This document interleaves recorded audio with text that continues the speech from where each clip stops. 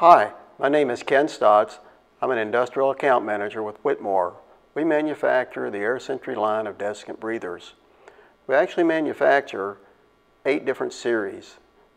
Uh, we have products that, are, that offer good solutions, we have products that offer a better solution, and then we have the best solution.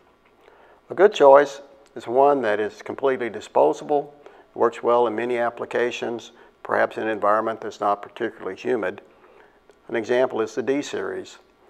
Another example would be our Z series. This product is similar to the D, it's just smaller, uh, designed for limited airflow and limited space.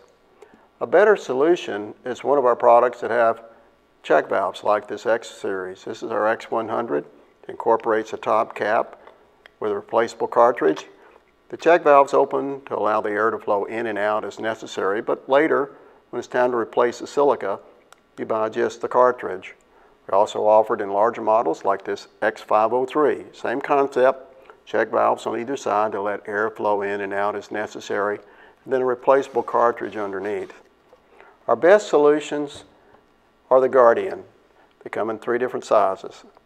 Uh, the Guardian is designed with check valves in the top cap to let the air flow in when necessary. The air vents out the base as the reservoir needs to exhale, and in the middle is a cartridge of silica gel.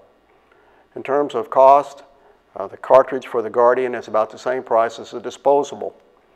Uh, if you think in terms of, of service life, the X series will last about twice as long as the, the uh, D series because it has check valves that open and close and protects the silica gel from its humid environment.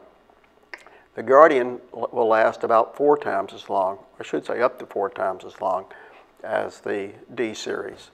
And the reason for that is it seals the silica gel, protecting it from its humid environment except when air needs to flow. To learn more about our products, visit our website, airsentry.com. You'll find our contact information, our 800 number. Thank you.